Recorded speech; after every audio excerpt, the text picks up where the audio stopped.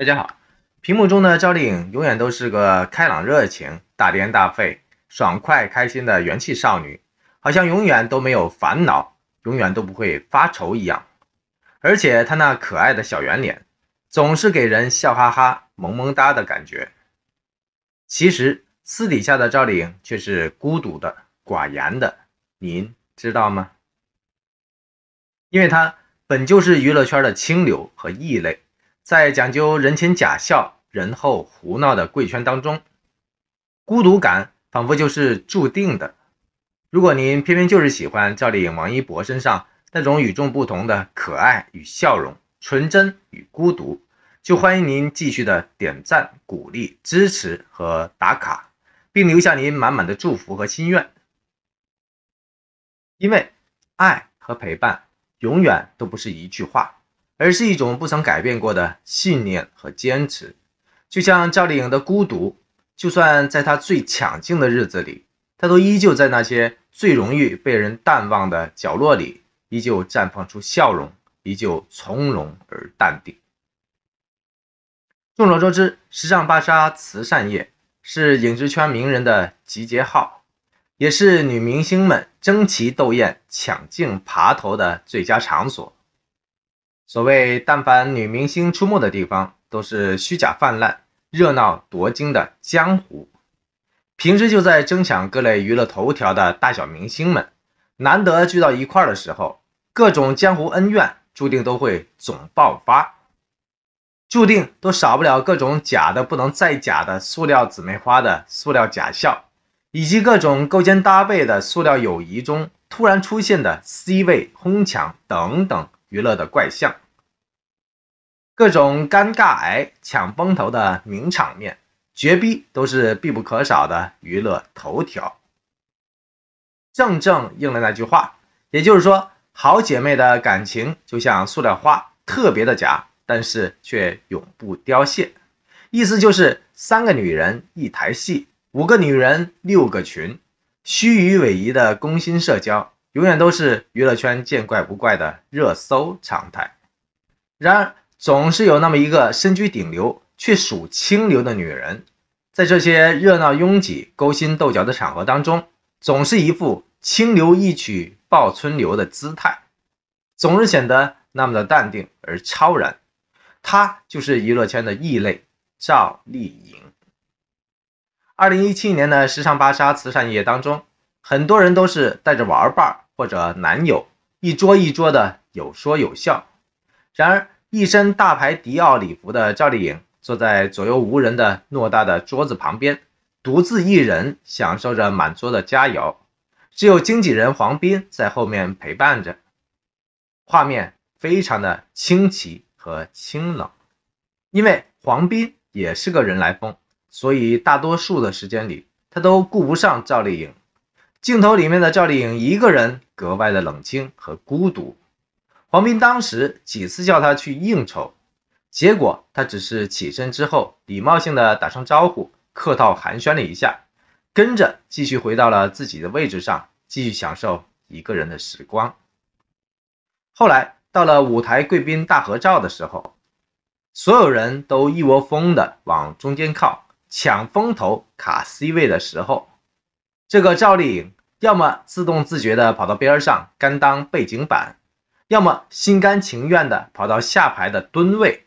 如果不是偶然被镜头扫到，谁都不会留意到她一个顶流居然躲在角落里。从这些不同视角的照片当中，我们都可以看得出来，赵丽颖的笑容几乎是所有笑容当中最真实的那个，因为不争不抢。所以赵丽颖的笑容充满了真实的阳光，仿佛春天里盛开的花朵，真实而自然，在一众清一色的塑料笑容当中，显得特别的脱俗和可乐。真的是有明星的地方就有江湖，有赵丽颖的地方就有清流。我甚至有些怀疑，她那纯真的笑容。极度貌似吃瓜群众笑而不语的吃瓜微笑，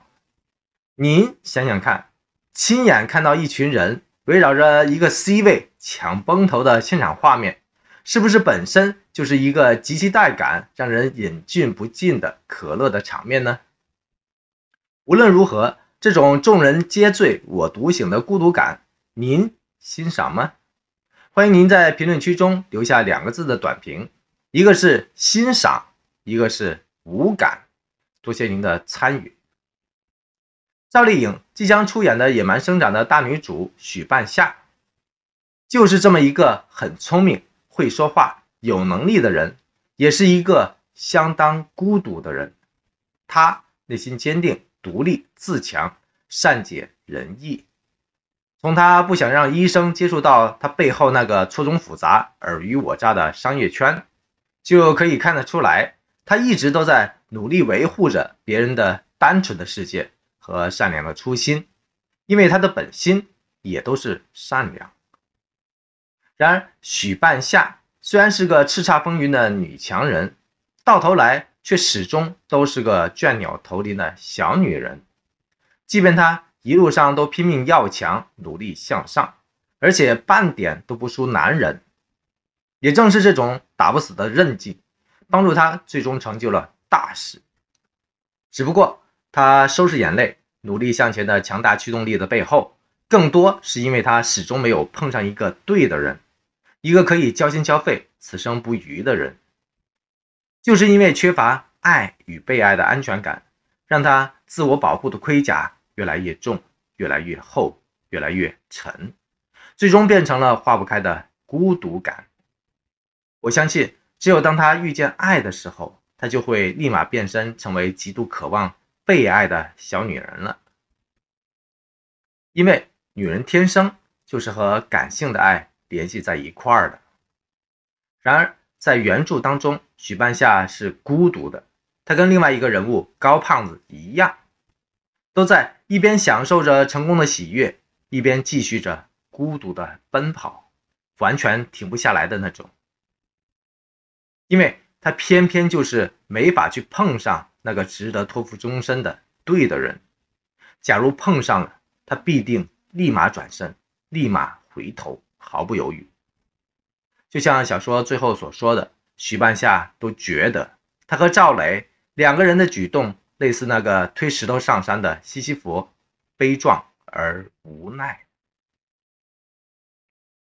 也就是说，无论你前进还是等待，放弃还是期待。那些注定无缘的人，都会跟你若即若离，渐行渐远。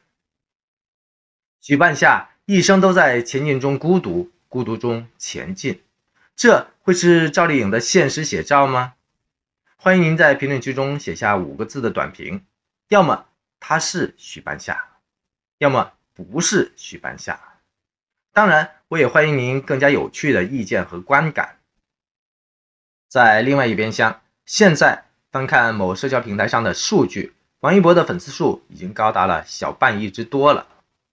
然而，他置顶的视频却始终是粉丝数达到三百万那会儿回馈给大家的一支热舞的视频，时间定格在了二零一七年的九月份。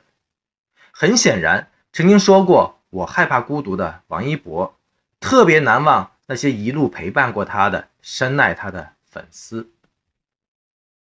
同一年的同一个月，赵丽颖在时尚芭莎的慈善夜中，一个人像一朵俏皮动人的紫色玫瑰，孤独却又倔强的盛开着。她的笑容是那么的真实、淡定和从容，和现在的笑容几乎是一模一样。即便这么多年都已经过去了，她的笑容还是没有变，只是赵丽颖笑容背后的那一份让人揪心的。孤独感似乎也一直都没有改变过，这是因为他还没有碰上呢，还是依旧在等待中呢？如果您热切期待云匪 CP 能够重聚，期待孤独的清流可以交汇，不妨放飞您的思想，大胆写下您的祝福，因为您的祝福都能够被看见，都能够被记住。就像王一博一直都在珍藏三百万粉丝的那一刻记忆一样。最后，您无论是喜爱赵丽颖，还是喜欢王一博，或者深刻理解甚至感同身受他们身上特有的孤独感，都欢迎您大声的点个赞、鼓个励、加个油或者喝个彩，因为您的所有爱心、鼓励和支持都是宝贵的能量和陪伴，而这些能量和陪伴既可以为您自己带来疏解和快乐，也会影响到更多更多的人，包括您所喜爱的人。